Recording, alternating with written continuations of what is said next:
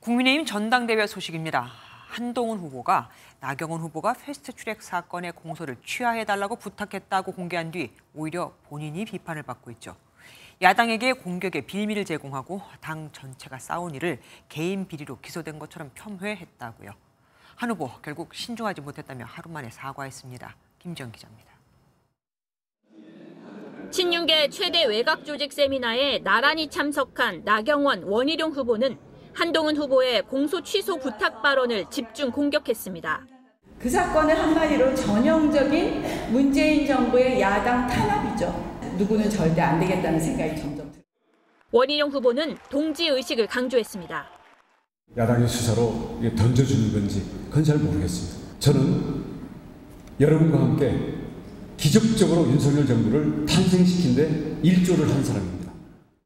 윤상현 후보도 선을 넘은 것 같다고 말했습니다. 국민의힘 의원 단체 채팅방에는 당이 싸운 일을 개인 비리로 기소된 것처럼 폄훼했다는 비판글이 올라오고 의원들의 동조가 이어지며 비판이 터져나왔습니다.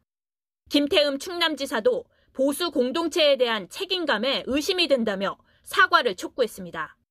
당 안팎의 비판이 커지자 한 후보는 결국 발언 하루 만에 사과했습니다.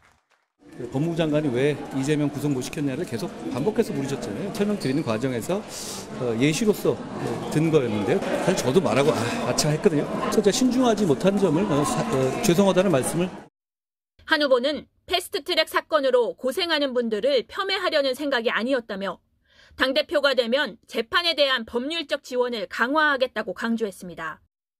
전당대회 당원 투표를 하루 앞두고 막판 당심 결집을 위한 당권 주자들의 경쟁이 치열해지고 있습니다. MBN 뉴스 김지영입니다.